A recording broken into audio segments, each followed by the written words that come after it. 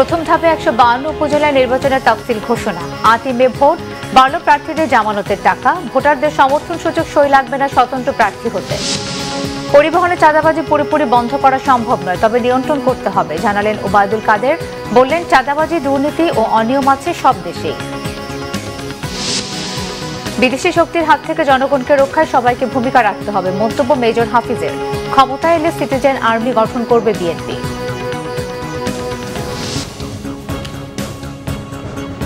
দেখছিলেন বিআরবি কেবল সংবাদ শিরোনাম, এবারে বিস্তারিত।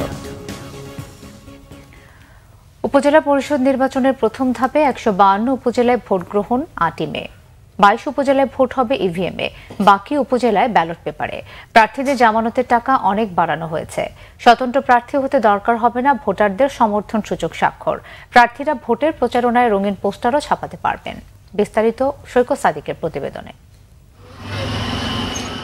ষষ্ঠ ধাপের উপজেলা নির্বাচনকে সামনে রেখে বৃহস্পতিবার সকালে রাজধানীর আগারগাঁও নির্বাচন ভবনে সিইসি কাজী হাবিবুল আওয়ালের সভাপতিত্বে বৈঠক অনুষ্ঠিত হয়। এতে চূড়ান্ত হয় চার ধাপের উপজেলা নির্বাচনের তফসিল।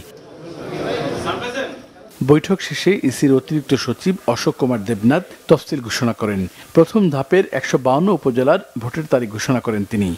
একশো বায়ান্নটা উপজেলা পরিষদের নির্বাচনের তফসিল ঘোষণা করা হয়েছে প্রথম ধাপে।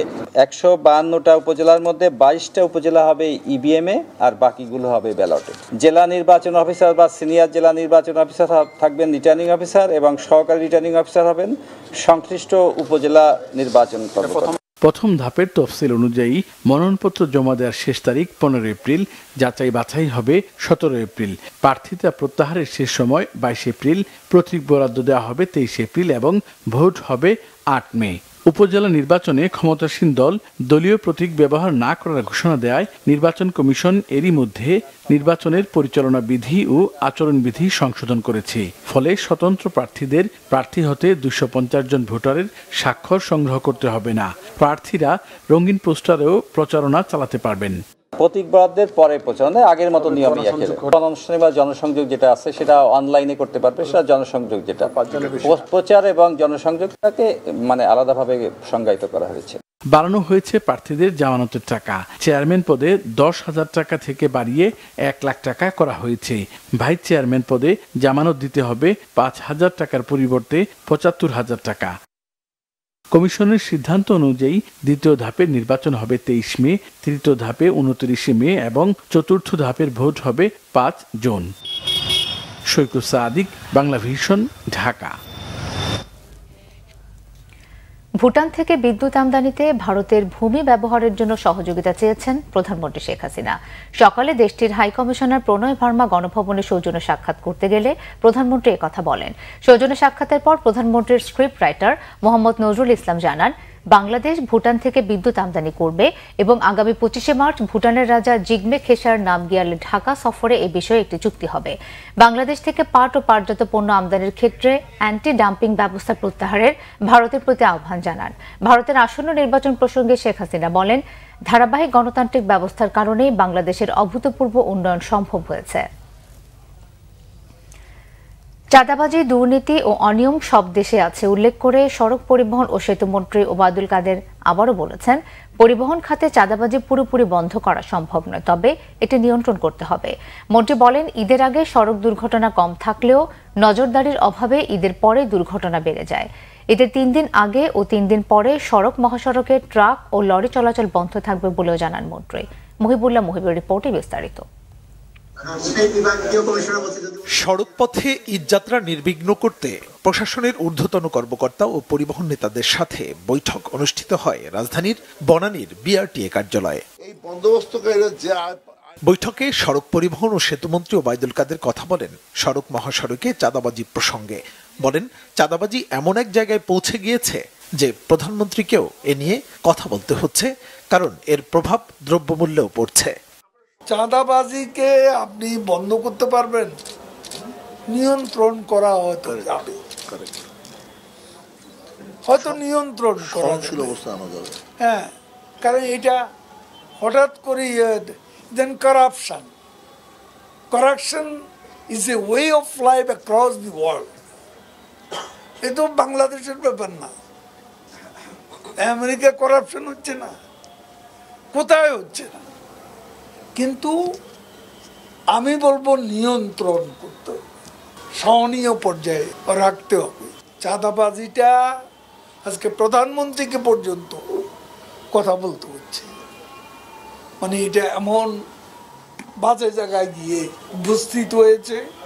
বৈঠকে ঈদের পর সড়ক দুর্ঘটনা বাড়ার কারণের ব্যাপারে নিজের পর্যবেক্ষণ তুলে ধরেন মন্ত্রী। জোর দেন যানজট ও দুর্ঘটনা রোধে হাইওয়ে পুলিশের দক্ষতা ও সক্ষমতা বাড়ানোর উপর।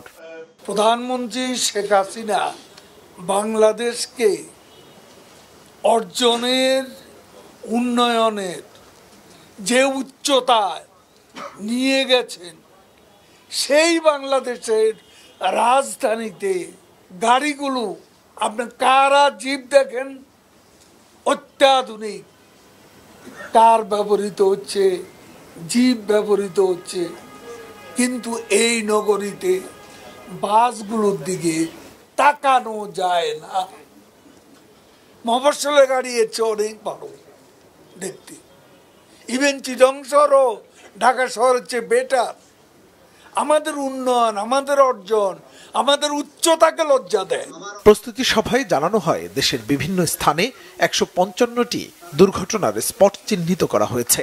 সারা দেশে ঈদের আগে সাত দিন ও ঈদের পরে পাঁচ দিন সিএনজি স্টেশন চব্বিশ ঘণ্টা খোলা থাকবে আর ঈদের তিন দিন আগে ও পরে সড়কে ট্রাক ও লরি চলাচল বন্ধ থাকবে।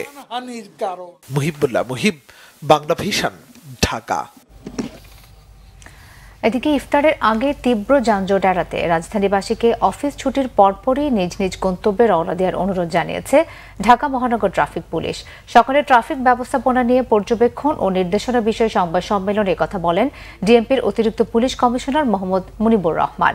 এ সময় যানজট কমাতে রাস্তায় গণপরিবহনে যেখানে সেখানে যাত্রী উঠানামা না করার আহ্বান জানান তিনি।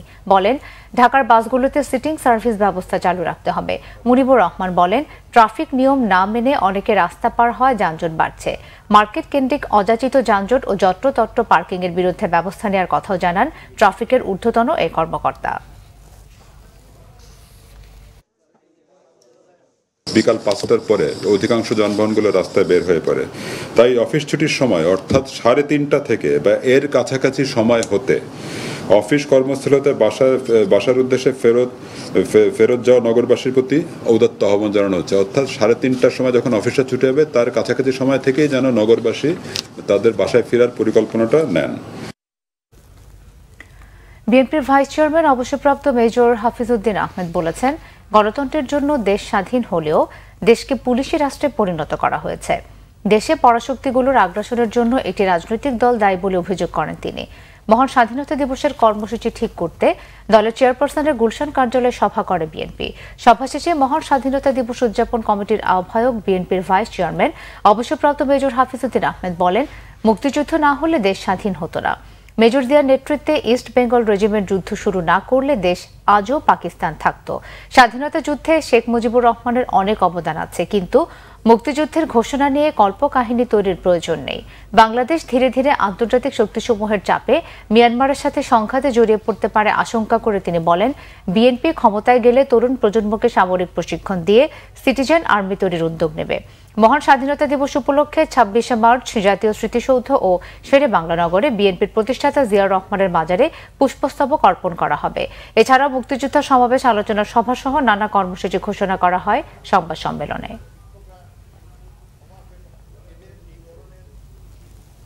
আমাদের প্রতিবেশী রাষ্ট্র কিংবা বহির্বিশ্বের অন্যান্য পরাশক্তি আমাদেরকে তাদের অধীনস্থ করতে চায়।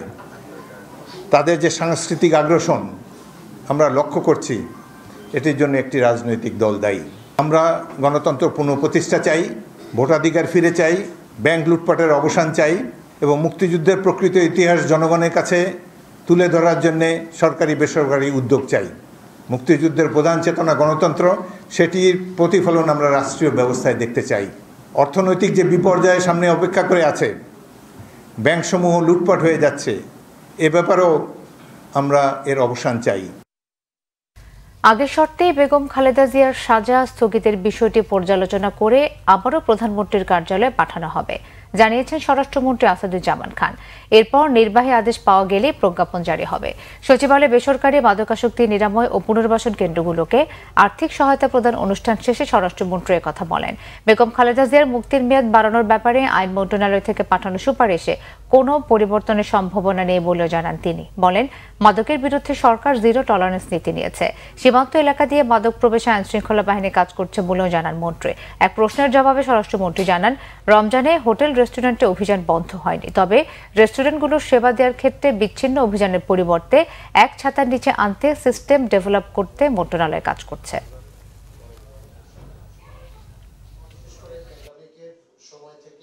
সবগুলো এজেন্সি একটা আমব্রেলার নিচে এসে একটা কমান্ডের নিয়ে আসার জন্য আমরা চিন্তা ভাবনা করছি।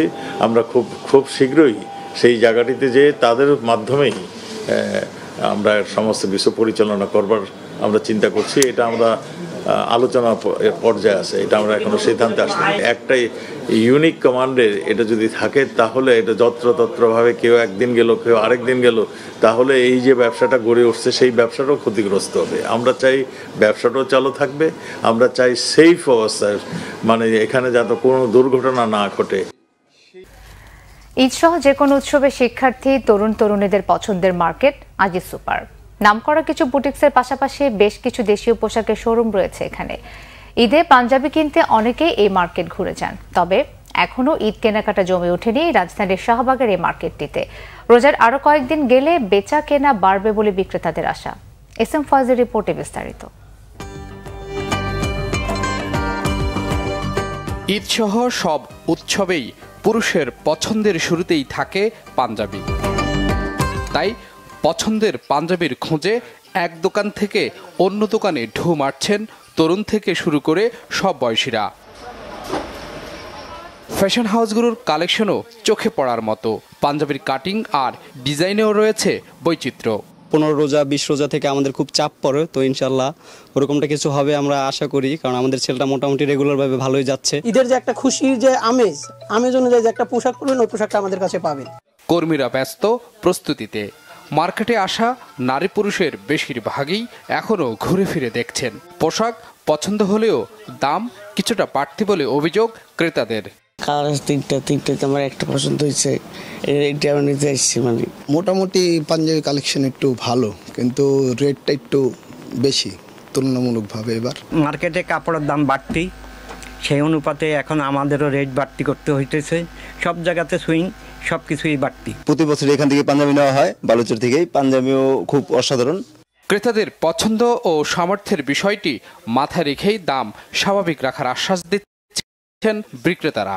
কটন বেস তো আমাদের মিনিমাম রাখতেই হবে। এর সাথে উৎসব কেন্দ্রিক যেহেতু একটা ব্যাপার থাকে আর সুতির পাশাপাশি আমাদের মিক্সড কাপড়গুলো এখানে আমরা সংমিশ্রণ করি। দাম বিবেচনায় করলে আমাদের খুব কম রেঞ্জ থেকে মোটামুটি এবছর একটু রেঞ্জ বেশির মধ্যে আমরা পাঞ্জাবিগুলোর দাম রেখেছি। দেশীয় পোশাক প্রেমী আর তরুণ তরুণীদের উপস্থিতিতে সারা বছরেই জমজমাট থাকে রাজধানীর Aziz super market gents item maximum যেগুলা ছেলেদের লাগে এটা আমাদের অ্যাভেলেবেল আছে এবং কালার সাইজ সব কিছু অ্যাভেলেবেল আমাদের সব কিছু মিলায়ে আমাদের শোবে বরাত থেকে আমাদের সেলটা আলহামদুলিল্লাহ ভালো হচ্ছে। এখনও পর্যন্ত আমাদের সেলটা রেগুলার আছে। আশা করছি আমাদের ঈদ পর্যন্ত একটা ভালো সেল হবে। ঈদ সামনে রেখে দেখা যায় উৎসবের আমেজ। S M Foyez Bangla vision Dhaka. গরুর মাংস ব্যবসায়ী খলিল উজ্জ্বলের পথে ধরে এবার কম দামে তরমুজ বিক্রি শুরু করল ফসল ডট কম নামে একটি প্রতিষ্ঠান আর সুমন হাওলাদার নামে এক পোল্ট্রি ব্যবসায়ী। চার থেকে ছয় কেজির প্রতি পিস তরমুজ বিক্রি করছেন দুশো টাকায়। আরও বড় হলে তিনশো টাকা।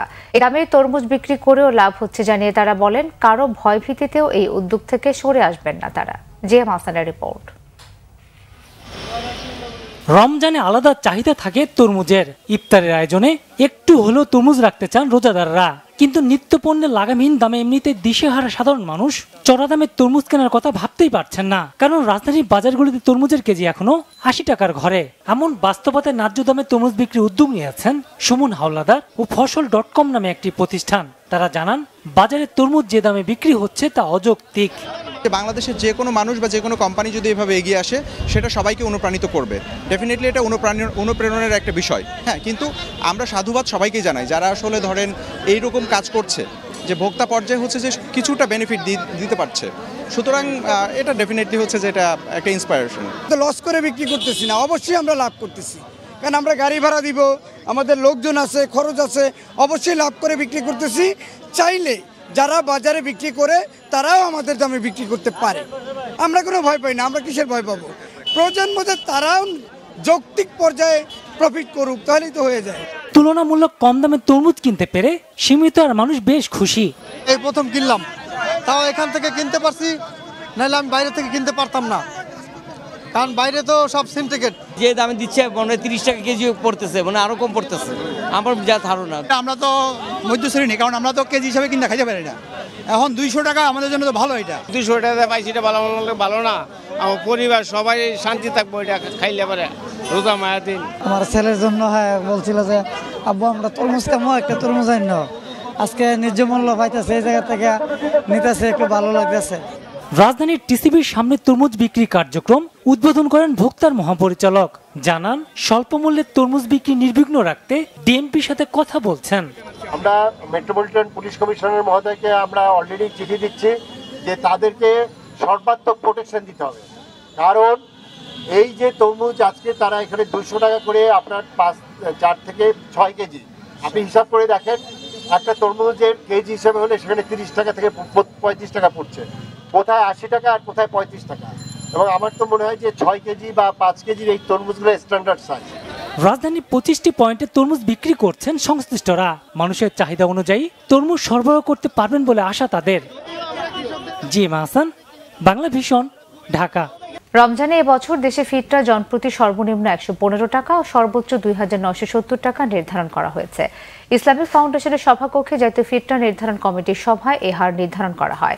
এতে সভাপতিত্ব করেন কমিটির সভাপতি ও জাতীয় মসজিদ বাইতুল মোকরমের খতিব হাফিজ মুফতি মাওলানা মোহাম্মদ রুহুল আমিন। সভায় জানানো হয়, শরিয়া মোতাবেক যে কেউ সামর্থ্য অনুযায়ী গম, আটা, খেজুর, কিশমিশ, পনির ও যে কোনো একটি পণ্যের বাজার মূল্য ফিতরা হিসেবে দুস্থদের মাঝে বিতরণ করতে পারবেন। চার দেখা সাপেক্ষে আগামী দশ অথবা এগারো এপ্রিল পালিত হবে মুসলমানদের সবচেয়ে বড় ধর্মীয় উৎসব পবিত্র ঈদ উল ফিতর।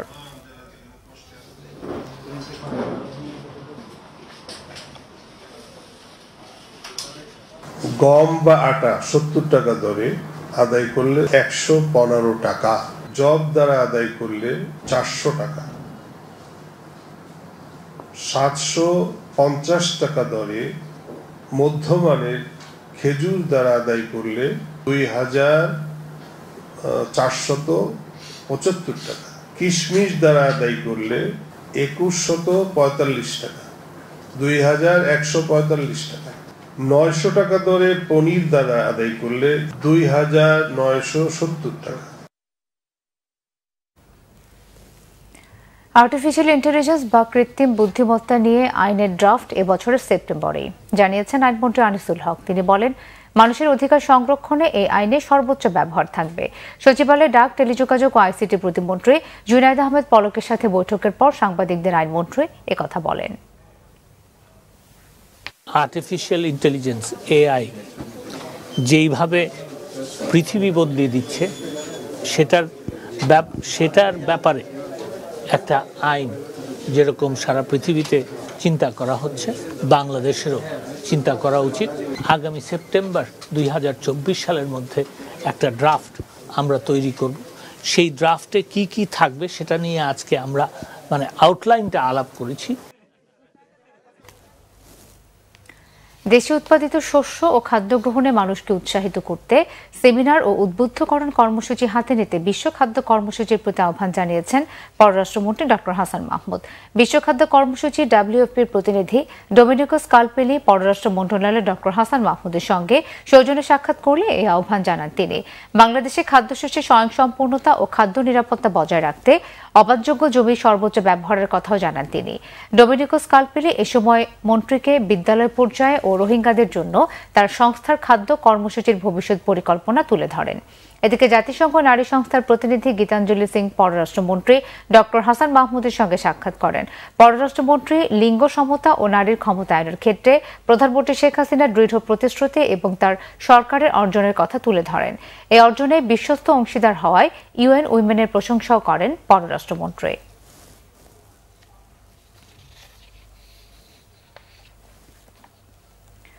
মেট্রো রেলের উত্তরা ডিপোতে সাড়ে সাত হাজার স্কোয়ার ফুট ক্যান্টিন মাত্র এক হাজার টাকায় ভাড়ার বিষয়টি তদন্তের নির্দেশ দিয়েছে হাইকোর্ট।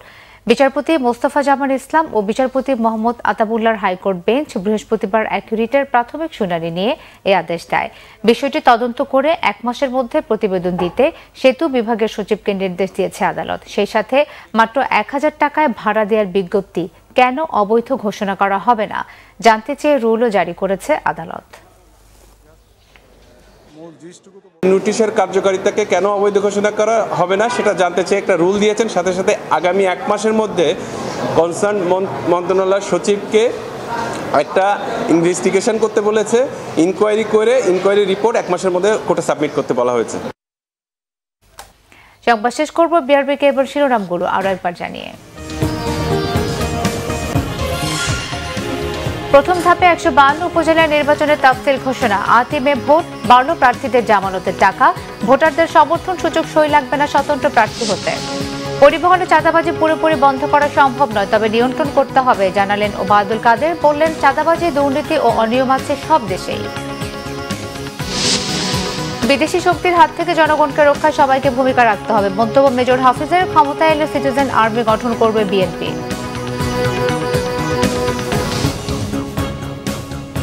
এই ছিল এখনকার মতো পরের সংবাদটা সাড়ে দশটায়। এর আগে নয়টায় রয়েছে নিউজ টোয়েন্টি দেখার আমন্ত্রণ রইল। এছাড়া বাংলা ভিশন সংবাদ ও সংবাদ সংশ্লিষ্ট অনুষ্ঠান দেখতে ভিজিট করুন। ডাব্লিউ ডাব্লিউ ডাব্লিউ ডট বিভিন্ন টোয়েন্টি ফোর ডট কম ও Facebook dot com slash Bangla vision নিউজে এবং সাবস্ক্রাইব করুন YouTube dot com slash Bangla vision news ধন্যবাদ।